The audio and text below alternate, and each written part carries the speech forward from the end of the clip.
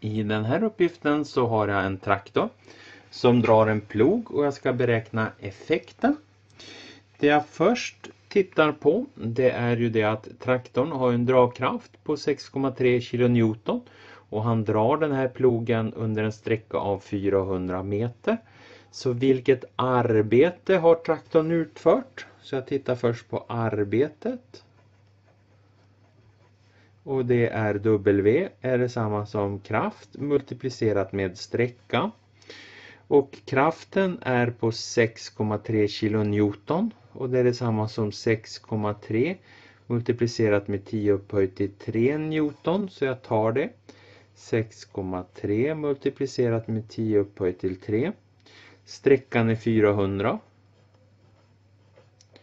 Så arbetet som traktorn utför det är då 6,6300 multiplicerat med 400.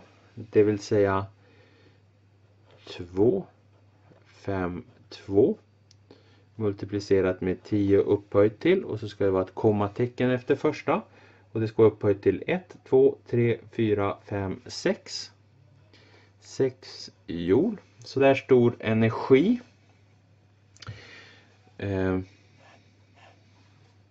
krävs, eller det här arbetet utför den här traktorn då. Och vet jag det arbete som traktorn utför så vet jag också den energi som krävs för det här arbetet. Så energin är ju detsamma som W här. Så det är 2,52 multiplicerat med 10 upphöjt till 6 joule.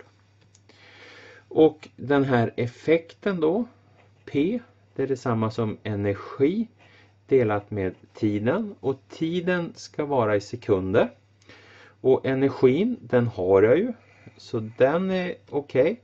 Den här tiden har jag också men jag har tiden i minuter och jag ska ha tiden i sekunder. Så tiden 3,0 minuter. Det är detsamma som 180 sekunder. Det går 60 sekunder på en minut. Så effekten som den här traktorn har då den får om jag tar energin.